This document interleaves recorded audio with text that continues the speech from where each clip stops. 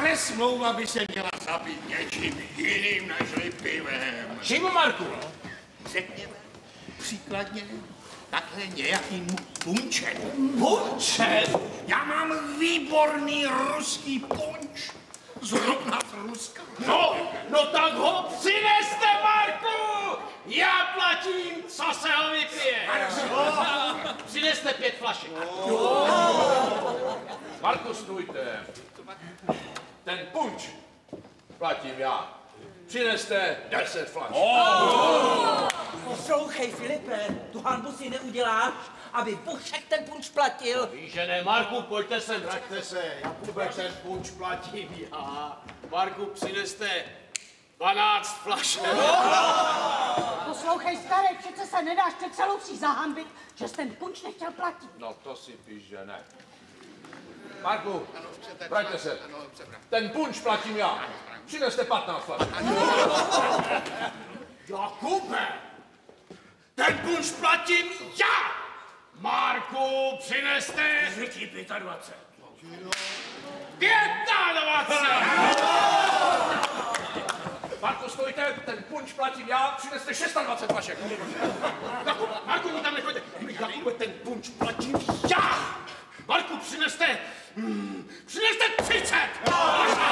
Jakube, nepovol! Marku, nechoďte nikam, ten punč platím já, přineste 35 flašek. Filipe, nepovol! Nepovol! Jakube, Jakube, ten punč platím já. To by bylo, aby se všude říkalo, že já jako jedinej mám v naší obci dva grunty a že jsem u smlouvách neplatil punč.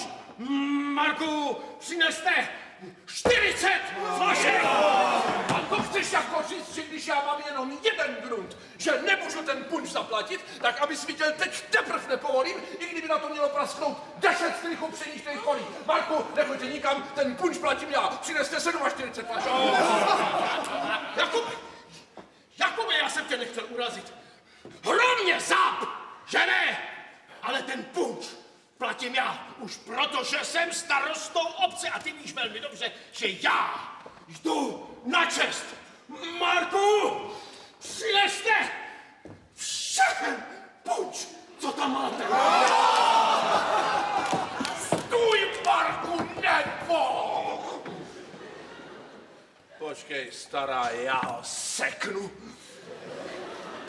A víš ty co? Co? Co? Plať si tedy ten punč.